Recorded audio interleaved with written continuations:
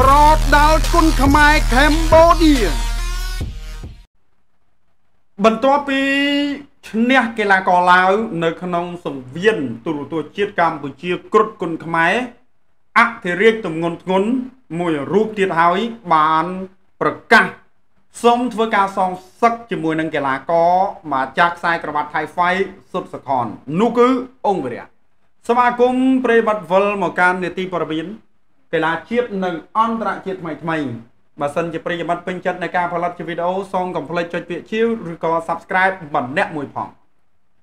នៅពេលបច្ចុប្បន្នកីឡាកររបស់កម្ពុជាក៏វ័យរៀងជ្រេចំណែកកីឡាកររបស់ថៃសុទ្ធសខនហ្នឹងក៏វ័យរៀងជ្រេដែរបើយើងរំលឹកទៅអតីតកាលបាទអង្គវីរៈឬក៏អង្គភិរៈបាទកូនសិស្សរបស់លោកគ្រូហងសឿននេះបាទមកពីតបឆាត់យង913 គឺធ្លាប់ចាញ់ក្រោមស្នាដៃកីឡាករសុទ្ធសខនកាលនោះគឺពួកគាត់នៅវ័យប្រហាក់ប្រហែលគ្នាក្មេងៗដូចគ្នាទីបាទមកសកលមកសកលគ្នា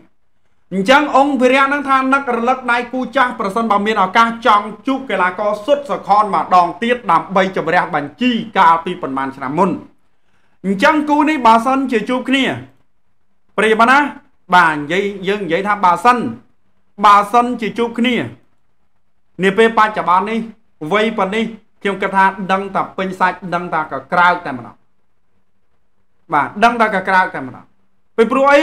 បាទនិយាយអំពីវ័យពួកគាត់វ័យប្រហាក់ប្រហែលគ្នាអត់មានលើសអត់មានលុះគ្នាទេបាទអាចណែទូទាត់លាត់សើគ្នាបានណែបងប្អូនអាចទូទាត់លាត់សើគ្នាបានអញ្ចឹងបាទគឺចង់ចង់ឲ្យជួបគ្នាមែនតើតែម្ដង បាទចំពោះខ្ញុំណាបាទហើយក៏សង្ឃឹមថាស្ថានីយទូរទស្សន៍ជាតិកម្ពុជាតតកបាទនឹងអាចនៅប្រិមិត្តរៀបចំគូនេះដោយសារតែគាត់វិលត្រឡប់មកវិញណាប្រិមិត្តបាទកីឡាករបាទអឺអង្គវិរៈឬក៏អង្គវិរៈហ្នឹងគាត់វិលត្រឡប់មកវិញគឺគាត់នៅល្អណាប្រិមិត្តណាបាទថ្មីត្បិតតែគាត់ហ្នឹងអខានបាទឡើងសង្វៀនមួយរយៈធំក៏ពិតមែនតែមកវិញគឺនៅលឿននៅល្អបាទដដែល បាទគាត់ផ្ដួលកីឡាករឡាវទៀតមិនមិនមិនមែនជារឿងលេងសើចទេបាទគាត់ផ្ដួលឡាវណាបាទគាត់ផ្ដួលឡាវកាលកាលពីប្រហែលកាលពីអឺប្រហែលថ្ងៃមុននេះបាទនៅសង្វៀនបាទគ្រុតគុណខ្មែរហ្នឹង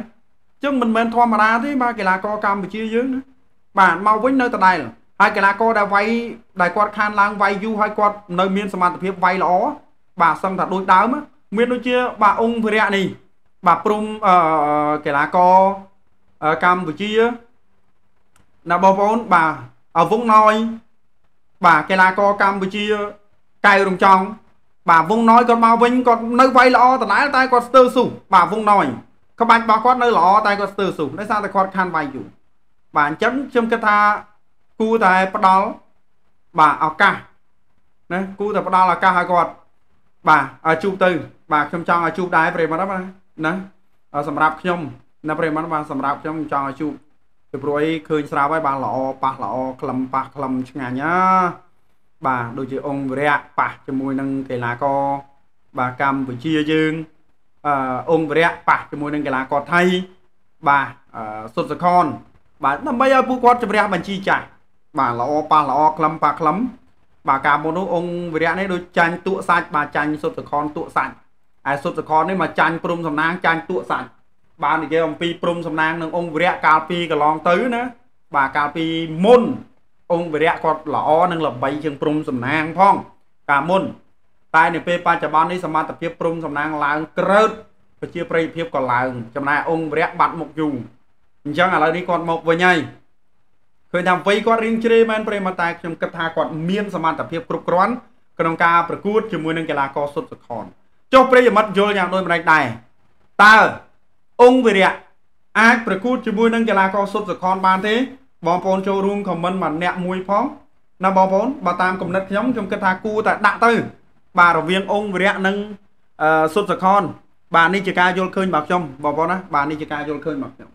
អញ្ចឹងតើតងទៅនឹងអត្ថបទព័ត៌មានប្រិមត្តចូលរួមបញ្ចេញមតិយោបល់បានបណ្ណៈមួយផងហើយបើសិនជាលើកទៅលើលោះត្រូវខុសដោយប្រការណាមួយ ក៏សូមខន្តីអភ័យទោសជាចុងក្រោយ បាទសូមជម្រាបលាប្រិយមិត្តបាទ